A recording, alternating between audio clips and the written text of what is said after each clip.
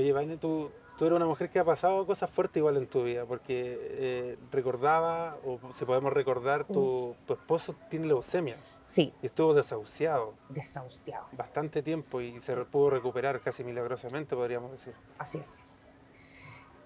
Yo creo que es 50 y 50. El doctor que nos tocó es una bendición porque es una eminencia eh, que eh, siempre que sale algo mío, él me ve y le dice, oye, vi la Vane". Eh, el doctor Murray, que es un hematólogo, una eminencia, y él, ningún doctor se dio cuenta de lo que él tenía. Y él lo vio, le hizo unos exámenes y lo hospitalizó inmediatamente.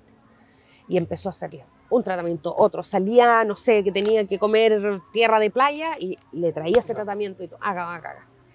Y lo salvó, pues. Y fueron cosas muy extrañas, así como tenía que Eh, hacer de repente. era, sí, sí.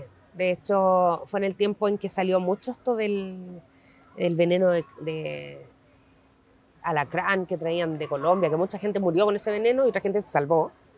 Eh, eh, y había que hacer muchas, muchas eh, cosas. Yo no soy mucho de ir a la iglesia, pero fui a todas. Fui a todas, fui a todas, me encomendé a todos, a todos, fui a todas. Y eh, yo le hacía Reiki de noche. Reiki, Reiki, Reiki. Eh, y cuando ya lo desahuciaron, que él no se acuerda, eh, es extraño. Estaba como oído. Sí, conectado a muchas mangueras. Yo me acuerdo que tenía una vía acá, tenía otra acá, los brazos, ya no tenía vena y todo.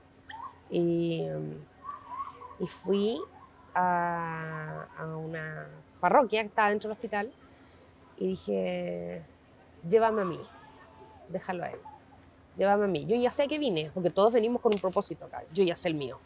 Y la gente lo sabe. dispuesta Sí, y dije, llévame a mí. Porque yo sé dónde me voy y sé que vuelvo. Pero no te lo lleves a él. Y maravillosamente eh, pasó una semana y subieron las plaquetas, subieron los eh, glóbulos rojos. Eh, mira, fue avanzando tanto, tanto que la enfermedad remitió, desapareció. O sea, es una persona completamente normal Hasta el día de hoy. hasta el día de hoy. Ahora trabaja. Su sueño era ver a sus hijos grandes. Imagínate, mi hijo menor tiene 18. Esto pasó cuando mi hijo tenía como 4 años. Mi hijo menor ahora tiene 18, el mayor tiene 20, va a cumplir 21. Entonces, pudo verlos crecer, pues eso es lo que él, lo que él quería. Y le dejó una elección de vida enorme. Porque De resiliencia. Sí, y de ser humilde.